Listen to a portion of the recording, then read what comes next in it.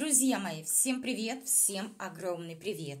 Ну что ж, у нас с вами сегодня очередной обзор на канал «Деревенский дневник» очень многодетной мамы и канал «Мать-героиня». Мои хорошие, будем с вами обсуждать последние сводки с полей.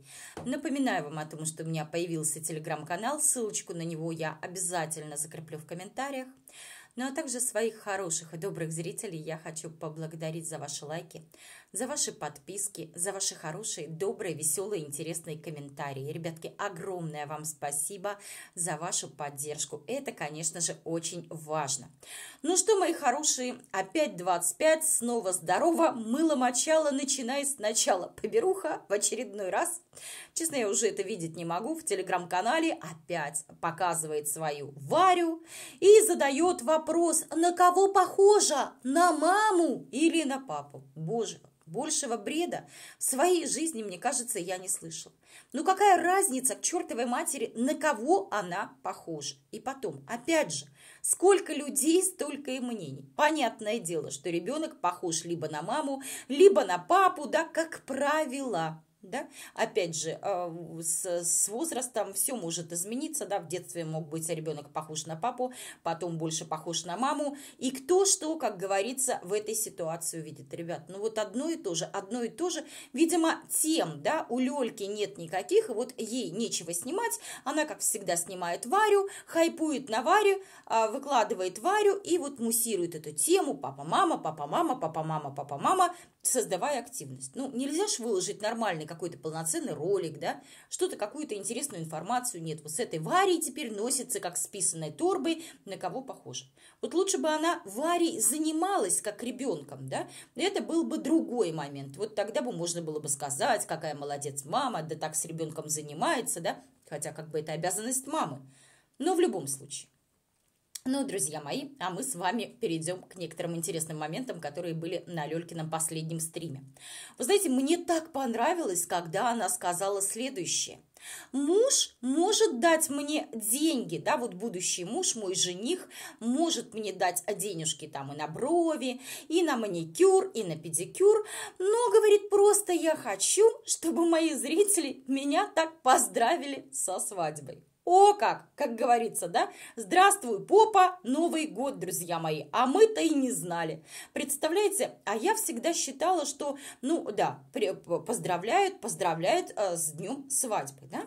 Это все понятно. Но опять же, как правило, э, получается следующее. То есть вы приглашаете гостей, да, заранее приглашаете гостей на свадьбу, на такое торжественное, ответственное мероприятие, которое бывает не каждый год, хотя, опять же, друзья мои, да, у кого-то, может быть, и каждый год, как говорится, да, у всех по-разному, у кого-то, возможно, есть такая традиция жениться постоянно, да, каждый живет так, как считает нужным.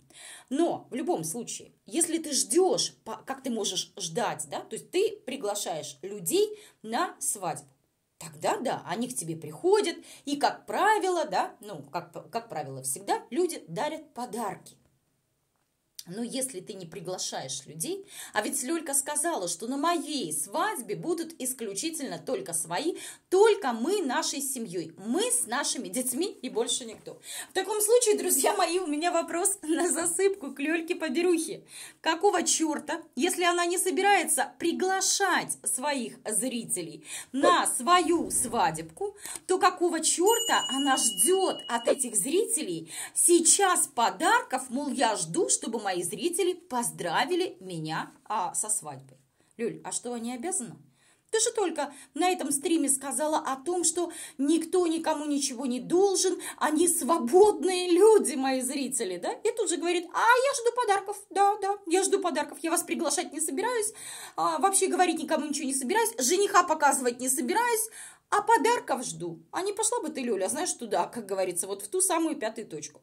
Далее, ребят, был интересный момент. Ей там написали в, э, в чате. Давай, давай, говорит, плодись дальше, плоди детей дальше. На что поберуха, как всегда, как ненормальная, начала орать. Да, я буду плодить, а ты давай, давай, на аборты, убивай детей. Боже мой.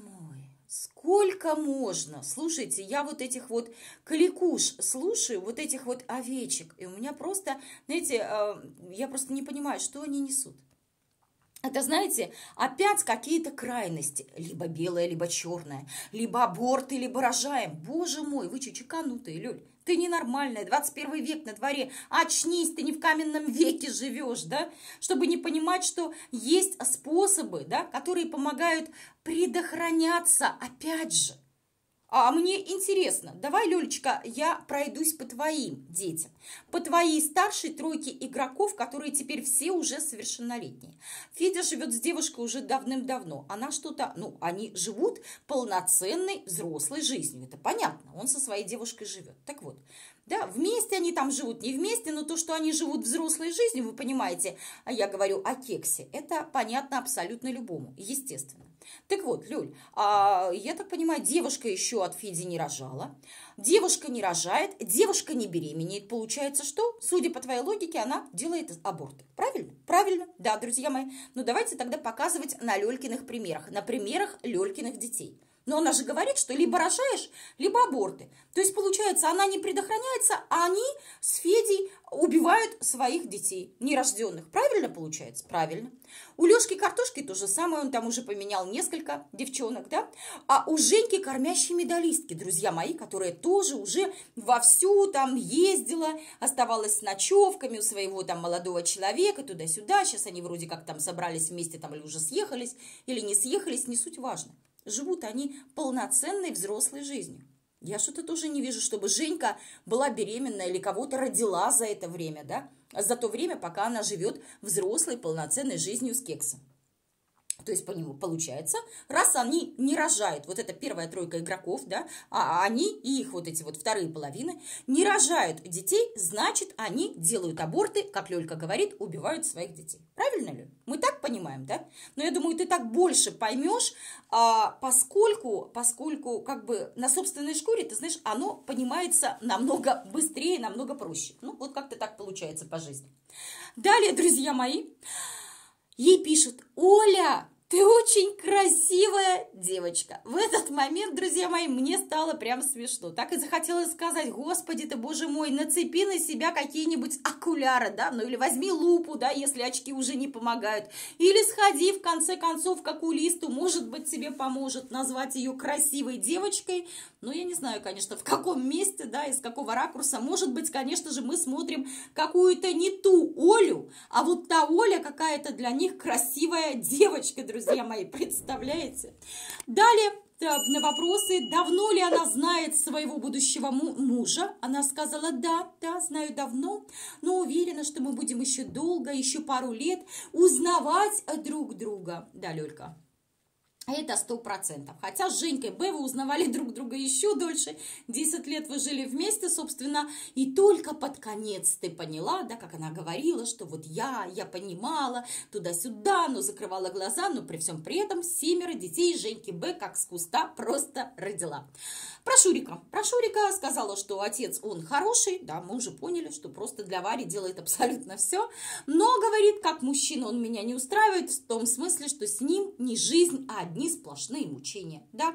Обратите внимание, Поберуха опять вот а, себя любимую, да, всячески обеляет, я, мол, такая, я святая, я сама простота, я вот такая вот золотая, прекрасная и так далее, а вот мужички-то мне все попадаются, ну, да не те. Далее, далее на вопрос, друзья мои, приняли ли Лёлькины дети мужчину, будущего мужа? Она говорит, ну да, как бы говорит, да. Так сначала слегка немножечко замялась, говорит, ну да, у меня, говорит, дети очень коммуникабельные. Они, говорит, хорошо относятся к тем, кто хорошо относится к ним. Как интересно. Вы знаете, вот как интересно, друзья мои, да, опять же, а, я думаю, что здесь Лёлька тоже соврала. Ей, собственно, соврать, как говорится, как воды напиться. Я помню прекрасно тот самый момент, когда она, даже не думав, что получится из этого стрима, из этого, так скажем, откровения Лёшки Картошки, помните, она позвала а, Лёшку, да, они с Лёшкой сидели вместе на стриме, и она задала Лёшке вопрос, а как ты относишься к Шурику, да, вот как что ты можешь о нем сказать. И вот тогда Лешка начал говорить, что этот мужчина точно не для жизни, не тот это человек. И Лёлька начала его всячески, да нет, да ты не так понимаешь, да ни туда, ни сюда, да мы потом, говорит, с Лешей провели беседу, Леша все-таки понял, нет, Леша-то правильно сказал то, что чувствовал и видел он. Но в этот момент Лёлька не готова была открывать глаза на Шурика, и Лёльке, конечно же, этот момент не понравился. Она-то задавала вопрос своему старшему сыну, ну, не самому старшему, ну, одному из первой тройки игроков, да, Лешки Картошки, в надежде на то, что тот начнет расхваливать Шурика, мол, прекрасный, мама, мы все счастливы, мы прям, мы прям так счастливы, так счастливы, что ты притащила очередного там какого-то Альфонса в наш дом, да, а, который пытается их еще и строить при всем при этом. Но не тут-то было. Лешка открыл рот и начал говорить то, что он думает про Шурика. Поэтому, а здесь кто что будет говорить? Яков маленький. Матрона, Настя, конечно же, они и рта не откроют. Даня тоже не откроет. Саша, она всегда маме в рот заглядывает. Старшие дети, их мнение уже давным-давно Лёльку не колышет.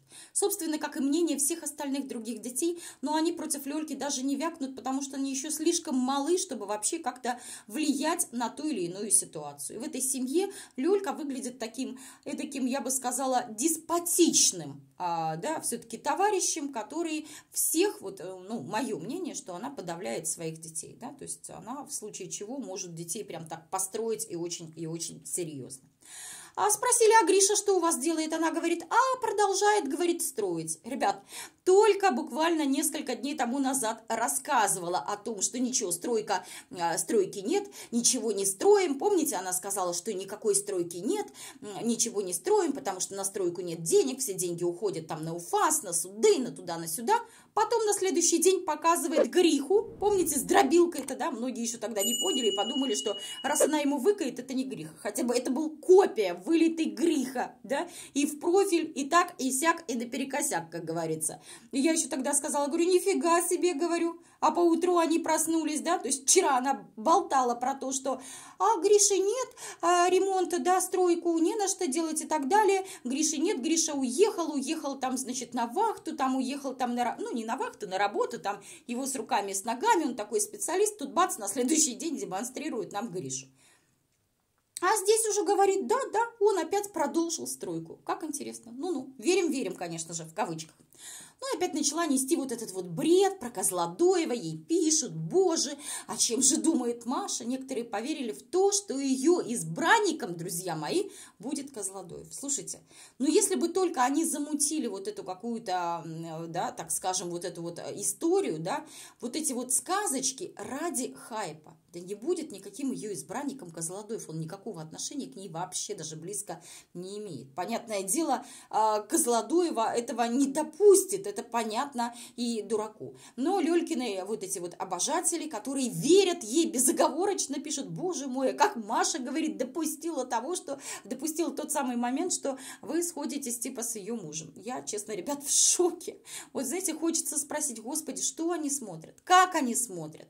Ну как вот можно смотреть и верить человеку, который говорит, да я вообще никого не покажу, да я вообще никого показывать не буду, да, да, будет, да, мужика не покажу, мужа нового не покажу, это не покажу, это не покажу, это не скажу и так далее. Но дайте мне, да, я жду подарков, денег на свадьбу это, она обращается к людям, которых она даже близко на свадьбу не приглашала. И показывать она им тоже, и доказывать ничего не собирается. Очень интересно. Ребят, вот такой у меня получился обзор. Продолжение следует. Пишите, что вы думаете по этому поводу. Оставляйте свои комментарии. Всех целую, обнимаю. Всем пока-пока. И, конечно же, до новых встреч.